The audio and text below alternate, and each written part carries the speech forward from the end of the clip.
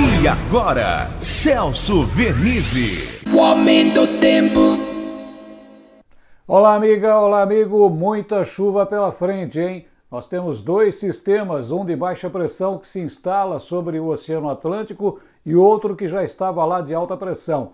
Um gira assim, o outro gira assim.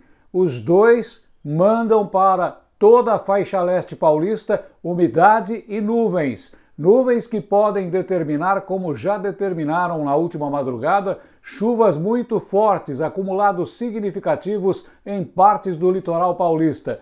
Problemas à vista, tomara que não, mas já tem gente sendo removida no litoral norte por conta da chuva forte por lá. Situação de instabilidade com chuva nos próximos dias também. Muito cuidado, muita atenção. Situação de chuva até a faixa leste paulista, sobe até a capital e a Grande São Paulo principalmente. No interior são chuvas isoladas que acontecem à tarde.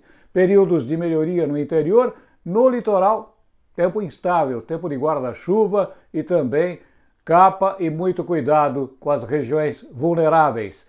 A situação da temperatura não muda, 23 na capital, no litoral, 27 a 28 graus no interior. Um abraço a todos. O aumento tempo.